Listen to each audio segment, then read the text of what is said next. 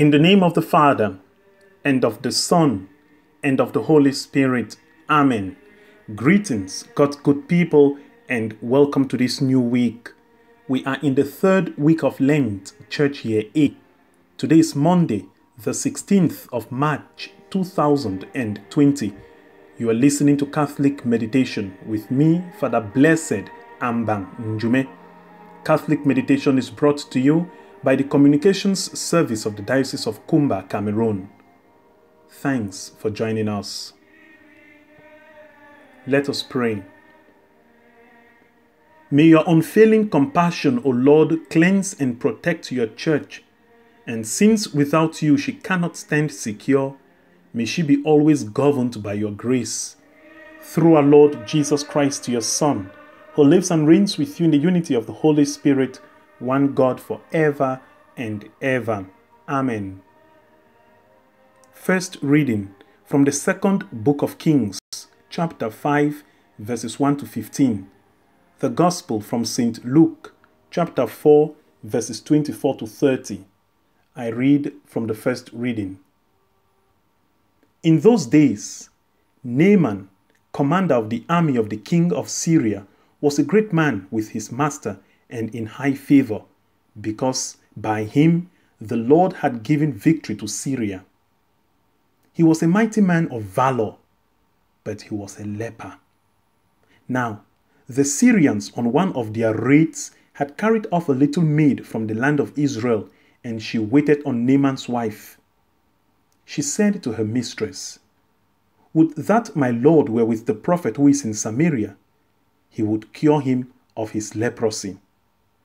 So Naaman went in and told his Lord, Thus and so spoke the maiden from the land of Israel. And the king of Syria said, Go now, and I will send a letter to the king of Israel. So he went, taking with him ten talents of silver, six thousand shekels of gold, and ten festal garments. And he brought the letter to the king of Israel, which read, When this letter reaches you, know that I have sent to you Naaman, my servant, that you may cure him of his leprosy.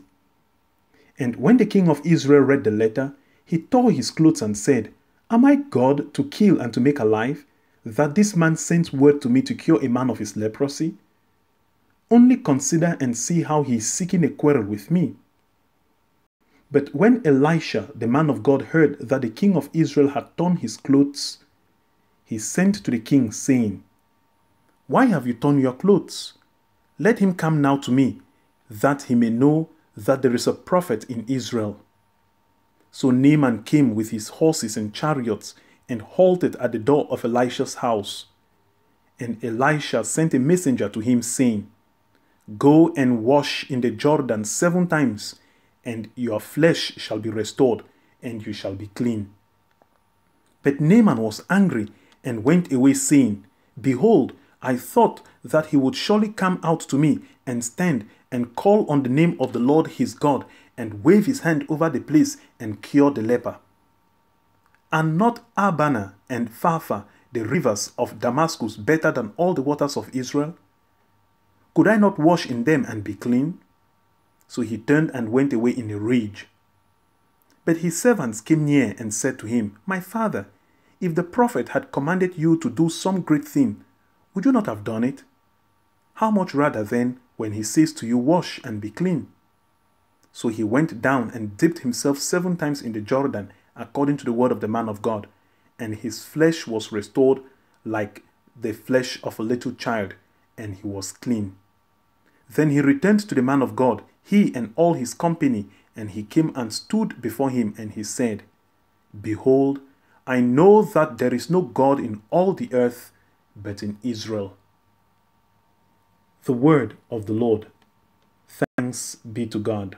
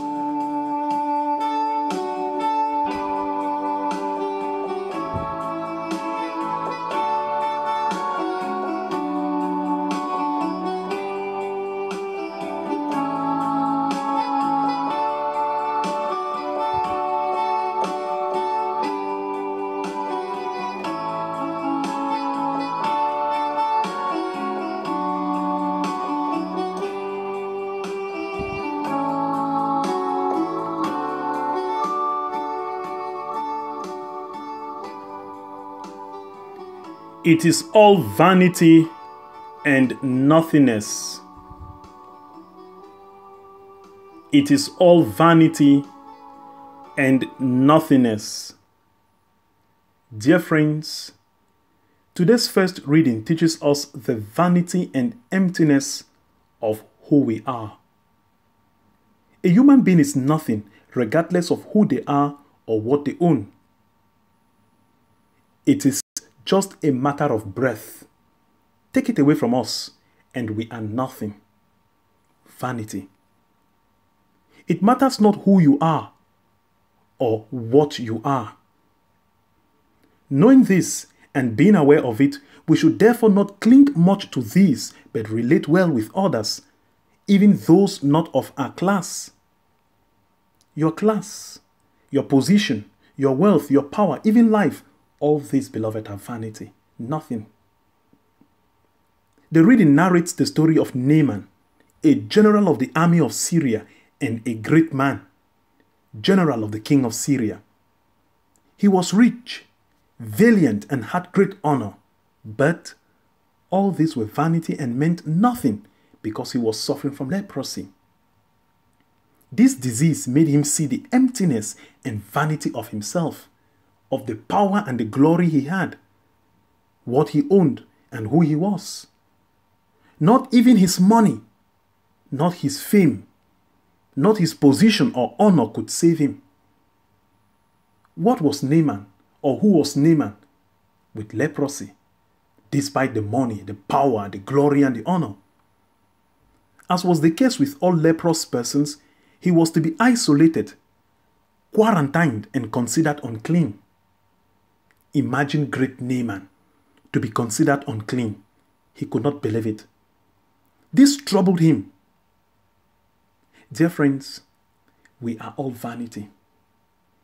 Visit the mortuary and see what happens to corpses. Vanity. This moment we are here speaking, commanding power and honor and respect, and the next second, some other person in the mortuary is toasting the body left, right, center, and we cannot even utter a word. Not even our money, power, or position can stop us from dying. What Naaman went through is a big lesson for us all. We can also be helpless and dependent on others. What is more, it was a maid, a maid, a house girl it was the maid of Naaman's wife who gave him advice to go see the prophet in Israel, who later healed him.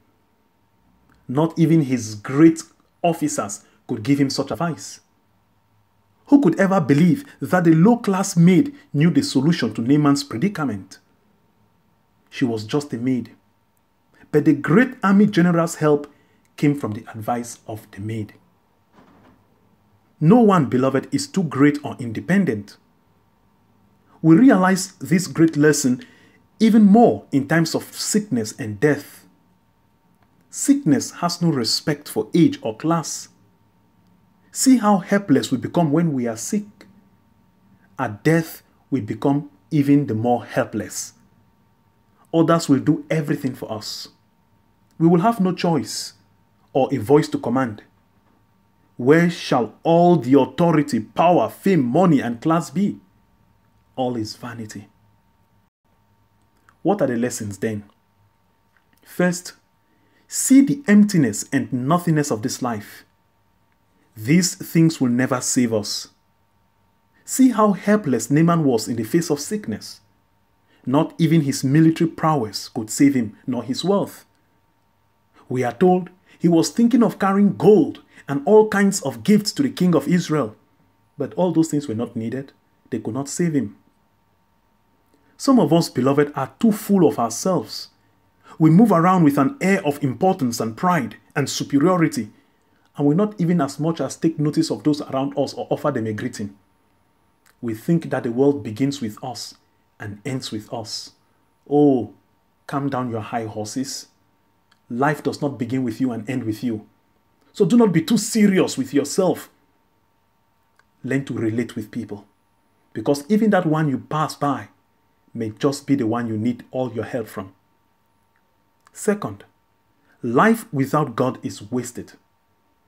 It was the prophet of God who saved him, showing the value and important place we need to give to God in our lives. All will always fail, but God will never fail. Third, beloved, never disregard or underlook anyone because of who you are or what you own or because of who they are. It was a maid, a house girl who helped Naaman with advice. You will not take yourself to the mortuary or bury yourself. Therefore, relate well with people. Stop making enemies for yourself. That one you push away may just be that good Samaritan coming by when you need help the most. The greatest treasure to have is people. Love them. Be there for them. You never know in whose hands you will breathe your last. Assist them in the most you can and they will be found among your jewels when you reach the better land. Assignment for today. Today, beloved, as you move around, give that your pretty smile to all. Give a lovely and cheerful greeting to all, even that cleaner. Do not pass by that one who needs your help. Listen to all who give you good advice and give respect to all, even that your maid or even that gatekeeper because you never know from where your help will come. You never know who God will use to bring your blessing. Amen. The Lord be with you. May the blessing of Almighty God, the Father, and the Son, and the Holy Spirit come on you and remain with you forever. Amen. We wish each and every one of you a blessed week.